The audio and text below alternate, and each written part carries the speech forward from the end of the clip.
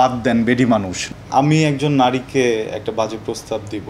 সেই নারী কি কখনো তার নিজের গাড়িতে করে সেই পুরুষকে, সেই পুরুষের বাসায় ড্রপ করবেন কিনা? পুরো বিষয়টাতে শুরু থেকেই শেষ পর্যন্ত আমার স্টেপই ছিল যে আমি ব্যাপারটাকে শান্ত করার চেষ্টা করেছি।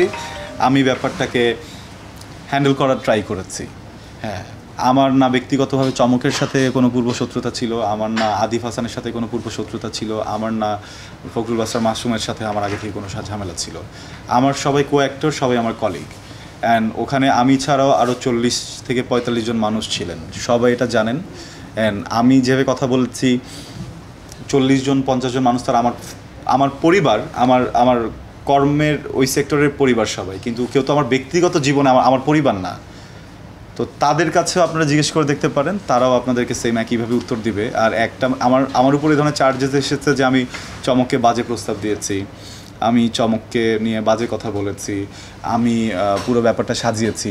ভাই, একটা সেটে যেখানে আমার বাবার বয়সী মানুষ আছেন, আমার দাদির বয়সী মানুষ আছেন, পতাকার ডিজাইনার যিনি ওনার ওয়াইফ গীতশ্রী আন্টিও এখানে অ্যাক্টিং করেছেন।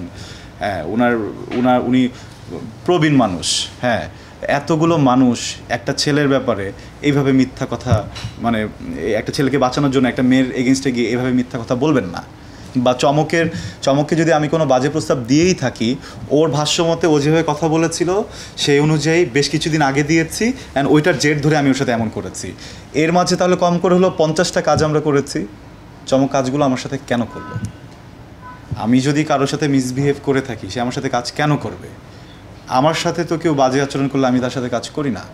চমক কেন করল? তাকে যদি আমি বাজে প্রস্তাব দিয়েই থাকি, তাহলে এতদিন কেন উনি এটা নিয়ে কথা বললেন না? উনি কি বলবেন এটার জন্য? আমি ওনাকে অন্যভাবে বুঝিয়েছি বা মাফ চেয়েছি বা কিছু না। উনি উনি কেন বললেন না এতদিন কথা? উনি আগে কথা বলতেন। আজকে যখন উনার এগেনস্টে কিছু বিচার এসেছে, একটা একটা ইউনিট থেকে, একটা সেট থেকে, একটা সিন ক্রিয়েটের কথা এসেছে, যেখানে আমি জড়িত না, তখন কেন এই কথাগুলো আসলো? এই পুরো ঘটনাটাকে ঘোরানোর জন্য, যেটা আমার আমার ব্যক্তিগত মতামত। অ্যান্ড এই জায়গাটা থেকে বাঁচার জন্য একজন পুরুষকে হঠাৎ করে এই ধরনের এলিগেশনসে ফেলে দিবেন তার চারিত্রিক বিষয় নিয়ে, বা তাকে বলবেন যে সে একটা মেয়েকে হেও করেছে, বা একটা মেয়েকে বাজে প্রস্তাব দিয়েছে, এটা খুবই সস্তায় স্টান্ট এটা করা উচিত না। আর আমার কাছে মনে হয় যে মানে আমরা প্রায় একটা কথা বলতে শুনি যে, বাদ দেন বেডি মানুষ। নো বাংলাদেশের গভর্নমেন্ট বেডি মানুষ। বাদ দেওয়ার কোনো সুযোগ নেই। একটা নারী যদি দাঁড়িয়ে কথা বলে, সেখানে কথা বলার কোনো সুযোগ নেই। আমাকে যে মানুষটা জন্ম দিয়েছে, শুধু আমাকে না, আমার মতো, আমার থেকে বড় বড় স্টারদেরকেও জন্ম দিয়েছে, পেট থেকে বেরোচ্ছে একজন নারীরই। সো বাদ দেন বেডি মানুষ, এই সুযোগ নেই।